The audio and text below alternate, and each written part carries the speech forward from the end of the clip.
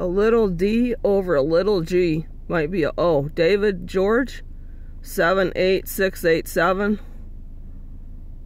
On top of the plate says truck.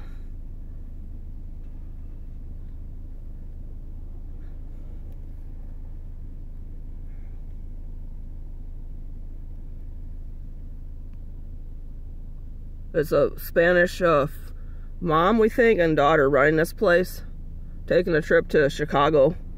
They were talking about in Spanglish in there. Luckily, we understand Spanglish.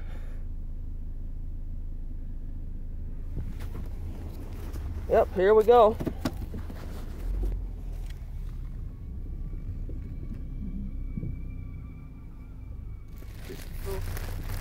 This is a self